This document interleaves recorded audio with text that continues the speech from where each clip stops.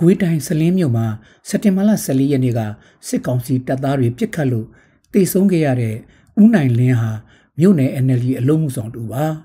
သူဟာနိုင်ငံရေးခံယူချက်ပြင်းထန်သူယူသားပွင့်လင်းသူ စကားကိုဟောတန်းတန်းပြောတတ်ပြီးရဲမောမောနေတတ်သူတူဖြစ်တယ်လို့မိတ်ဆွေတွေကပြောပါတယ်စလင်းမြို့ဝန်ရကြီးရွာပသိမ်မုံရွာကမ်းလမ်းဘေးမှာကုံတုံဆိုင်ဖွင့်ပြီးမိသားစုဘဝကိုဖျက်ဆီးခဲ့ရသူဦးနိုင်လင်းဟာ စစ်အာဏာသိမ်းပြီးချိန်မှာစစ်ကောင်စီတပ်သားတွေရဲ့အန္တရာယ်ကြောင့်ရှောင်ရှားနေရသူတူဖြစ်လာပါတယ်။စက်တင်ဘာလ14ရက်နေ့မနေ့ပိုင်းမှာအိမ်ကိုခဏပြန်ပြီးထမင်းစားနေချိန်မှာအရက်ဝတ်နဲ့စစ်ကောင်စီတပ်ဖွဲ့ဝင်တွေဟာအရက်ပက်သုံးကားတွေနဲ့ဖမ်းဆီးဖို့သူ့အိမ်ရောက်ရှိလာပါတယ်။ဦးနိုင်လင်းကအခြေအနေကိုရိတ်စားမိတာကြောင့်ထွက်ပြေးတဲ့အချိန်မှာနောက်ကနေတနက်နဲ့ပြစ်ခံပြီးခြေထောက်နဲ့ခေါင်းကိုထိသွားခဲ့တယ်လို့လုံခြုံရေးရအမည်ဖော်လို့သူ လုတ်ဖို့ကင်ပဲ NLD ပါတီဝင်တူကပြောပါတယ်လာဖမ်းတဲ့ပုံစံကပထမကသူကလူလွတ်နှစ်ယောက်ကနေပြီးတော့ဈေးဝယ်တယ်လို့ပေါ့နော်ရေတံမှုဝယ်လဲကွင်းရဝယ်တဲ့သူ့အိမ်မှာဈေးရောက်နေတော့အဲ့မှာလာဝယ်ပြီးရှိတယ်ဆိုမှ ကားအပေါ်ကနေပြီးတော့အရက်ဝင်တဲ့လူတွေဆင်းလာတာဗျအဲ့ကားတစ်စီးပေါ်ကလေပရာလိုခဲအောင်လို့ပြောတယ်ခင်ဗျအဲ့စစ်ဝစ်စစ်စားနဲ့မဟုတ်ဘူးပေါ့ဗျာအရက်ဝင်နဲ့ဆင်းလာပြီးတော့တနက်တွေနဲ့တန်းထိုးပြီးပြစ်လို့လောက်ခါမှထွက်ပြေးတာထွက်ပြေးတော့ကြတော့လေဘယ်တော့မှမပြေးလိုက်ဘူးတန်းပြေးတာဗျပထမပိုင်းခြေထောက်မှန်တယ်ခြေထောက်မှန်တော့ကဲမင်းပြေးဦးကွာပြေးနေနေလားပြေးစမ်းကွာနဲ့အော်ရနေကြရတော့ပေါ့ဗျာဒီအနာလူရပေါ့နော်ရိုက်နဲ့လောက်ပြီးနောက်ဆုံးပေးကြကမှဒီနောက်စီကိုတစ်ပြီးပြစ်သွားတာအသက်45နှစ်အရွယ်ဦးနိုင်လင်းရဲ့ရုပ်အလောင်းကို လူနာတင်ရင်နဲ့ဆလင်းစေးရုံကိုတင်ဆောင်သွားပြီးနောက်၄ရက်လောက်မှာအလောင်းကိုငွေနဲ့လာရွေးဖို့အကြောင်းကြားတယ်လို့တဆင်စကားနဲ့သိချိကြပေမဲ့ငွေဘလောက်တောင်းခဲ့တယ်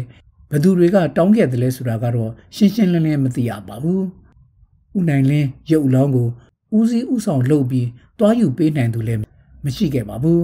။စက်တင်ဘာလ15ရက်နေ့မှာတော့စစ်ကောင်စီတပ်ဖွဲ့ဝင်တွေကစလင်းမြို့နယ်ဇေဒီလတုတ်တံမှာလုံခြုံရေးယူပြီး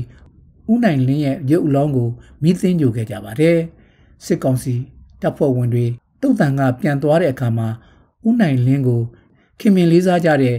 ရသားတချို့က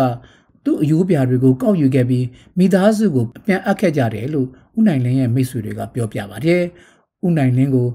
ပြစ်ခတ်ဖမ်းဆီးချိန်မှာသူ့ဇနီးတဲ့အတူအသက်၈နှစ်အရွယ်သမီးနဲ့9နှစ်အရွယ်သားတစ်ယောက်ပါရှိနေပြီး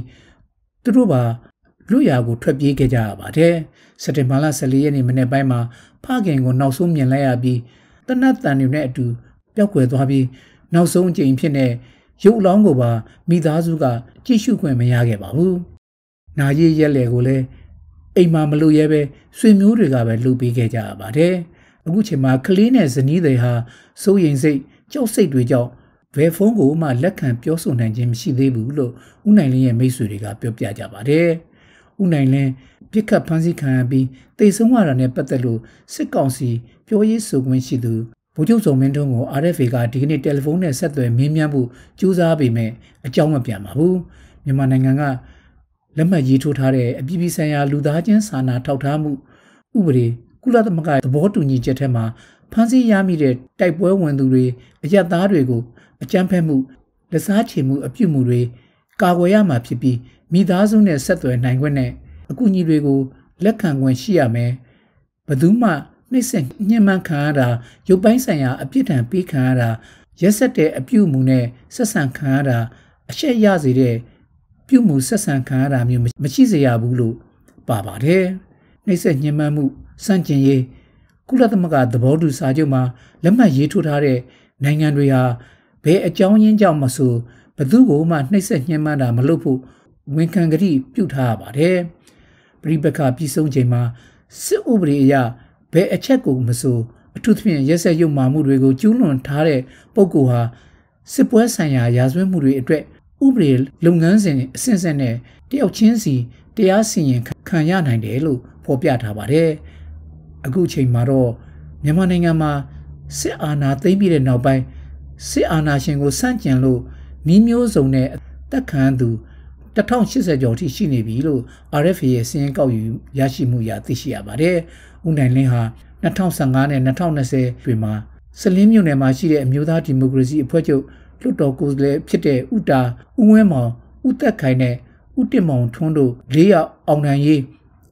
စီယုံရေးတွေအတွက်အင်တိုက်အားတိုက်လှုပ်ရှားပေးခဲ့သူတူလည်းဖြစ်ပါတယ်2015ရွေးကောက်ပွဲမှာအောင်နိုင်ခဲ့တဲ့လွှတ်တော်ကိုယ်စားလှယ်တွေကိုသူနေထိုင်တဲ့ဝန်ရကြေးရနဲ့ ရွာချင်းဆက်လမ်းတွေပြစ်နေတာကိုပြင်ပေးဖို့တင်ပြတောင်းဆိုခဲ့တာကြောင့်အခုချိန်မှာလမ်းကောင်းနေပြီဖြစ်တယ်လို့ဒေသခံနဲ့လုပ်ပေါ်ကင်ဘက်တွေကပြောကြပါတယ်။ဦးနိုင်လင်းနဲ့အတူအလုပ်လုပ်ခဲ့မှုတဲ့လုံညုံရေးအရအမြင်ဖော်လို့သူမြို့နယ်အလုံးမှုဆောင်တဦးကလည်းအမှတ်တရအခုလိုပြောပြပါတယ်။အာဒါအညှိုးနဲ့လောက်တာဗျပါတီဘောအညှိုးနဲ့တက်တက်ကိုရရဆက်ဆက်လောက်ကြံတာတက်သဘောမျိုးလို့ကျွန်တော်ကတော့သုံးတယ် အော်ဒီနဲ့မမရရဆိုလို့ရှိရင်ပါတီစီယုံရေးမှာအတူလက်တွဲခင်းခဲ့တာတွေစီယုံရေးကာလတွေမှာအတူလက်တွဲပြီးတော့လုပ်ခဲ့တာတွေတတိယတော့ပေါ့ဗျာတိတ်မှာအခုဒီတော်လိုင်းရေးခေတ်ကာလရောက်လာတဲ့ခါကျတော့သူနဲ့ပဲကြည့်တက်ပြီးအကူအညီရတဲ့ခါကျတော့သူကကျွန်တော်ကိုပြောခဲ့တာရှိတယ်အာတကယ်ငါငါကောင်မေးစူးစမ်းပြီးကျမရေးရကူဆိုင်စစ်တက်ပြီးအောင်နိုင်အောင်လုပ်အောင်တဲ့ခါအောင်တဲ့ခါကျငါတို့ပြောပါပြန်တွေ့မယ်ဆိုတော့အဲဒီတော့သူကကျွန်တော်ကိုပြောဦးနိုင်လင်းဟာကုံစုံဆိုင်ဖွင့်ထားတဲ့အပြင်6ဘီးကားတစ်စင်းမောင်းပြီး ကြေးရွာထွက်အသီးနှံတွေကိုစလင်းမြို့ပေါ်ကိုပို့စလင်းမြို့ပေါ်ကနေရွာအတွက်လိုအပ်တဲ့ပစ္စည်းတွေကိုတည်ယူပြီးရောင်းဝယ်လုပ်ကင်နေသူပါ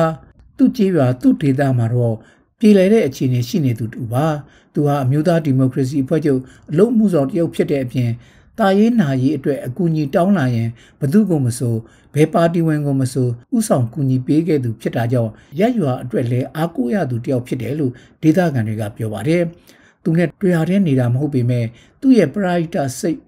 ဖော်ရွေတဲ့စိတ်သဘောထားတွေကိုလေးစားအားကြခဲ့ရတယ်လို့စလင်းမြို့နယ်ကလုံညုံရေးရအမြင်ဖော်လို့တဲ့ဒေသခံတူကပြောပြပါတယ်။ပြည်သူရုပ်တွေအဲဒီတလားရတူလေးသားဆိုတဲ့ဆောင်းပုံးနဲ့တူကညီတယ်နဲ့ကျွန်တော်တို့ငယ်တဲ့သူဆိုလည်းငယ်တဲ့သူအလေးတကာအားလုံးကလည်းလေးစားတာဆက်ဆံတယ်သူကလည်းအားလုံးကိုပြောပြောရှင်းရှင်း ရေရေမုံမုံနဲ့အားလုံးကိုဆက်ဆံတယ်သူပြောတဲ့ထဲမှာမှန်တရားအရင်ချင်းနေနေတဲ့စကားကိုတော့ပြောတဲ့အခါတိုင်းလို့ပါတာလေးတွေ့ရတယ်သူရင်ထဲမှာရှိတဲ့အမှန်တရားတစ်ခုလေးအတွက်နဲ့သူတက်ပြလိုက်ရတာမကွေးတိုင်းဟာ2015ခုနှစ်ရွေးကောက်ပွဲနဲ့2020ပြည့်ရွေးကောက်ပွဲတွေမှာ NLD ပါတီကတိုင်းလွန်ကျွတ်အနိုင်ရခဲ့တာပါ2015ရွေးကောက်ပွဲအနိုင်ရမကွေးတိုင်းဒေသကြီးလွှတ်တော်ဥက္ကဋ္ဌဖြစ်တဲ့ဥတာအမှတ်နှစ်တိုင်းဒေသကြီးလွှတ်တော်ကိုယ်စားလှယ်ဦးသက်ခိုင်တို့ကတော့ စစ်ကောင်စီတပ်တွေရဲ့ဖမ်းဆီးတာကိုခံထားရပါတယ်နိုင်ငံရေးအကျဉ်းသားများကူညီဆောင်ရှောက်ရေးအသင်းထုတ်ပြန်ချက်အရစစ်အာဏာသိမ်းပြီးနောက်ဒေါန်ဆန်းစုကြည်အပါအဝင် အမျိုးသားဒီမိုကရေစီဖွဲ့ချုပ်ဦးဆောင်သူတွေဝန်ကြီးချုပ်တွေလွှတ်တော်ဥက္ကဋ္ဌလွှတ်တော်ကိုယ်စားလှယ်တွေမြို့နယ်တွေကအလို့မှုဆောင်ကော်မတီဝင်တွေပါတီဝင်တွေအဖမ်းခံရတာအခုဆိုရင်280ကျော်ရှိနေပါတယ်။ RFA ကတိကျကောက်ယူထားတဲ့စီးရင်တွေအရအမျိုးသားဒီမိုကရေစီအဖွဲ့ချုပ် ပါတီဝင်တွေအပါအဝင်ရွက်တက်ဖွဲ့နဲ့စစ်တပ်ကဖမ်းဆီးပြီးတဲ့နောက်ပိုင်းနိုင်ပိုင်းရက်ပိုင်းအတွင်းသေဆုံးရသူ54ဦးရှိပြီဖြစ်ပါတယ်။သေတဲ့အထိပြစ်ခတ်ဖမ်းဆီးခံရပြီးနောက်အားကိုးရမဲ့သွားတဲ့ဦးနိုင်လင်းရဲ့မိသားစုနဲ့ဝန်ရရွာသူရွာသားတွေကတော့ရရွာအကျိုးဥဆောင်လုတ်ကင်ပေးခဲ့တဲ့ဦးနိုင်လင်းကိုနှမျောတတဝမ်းနည်းနေကြပါတယ်ခင်ဗျာ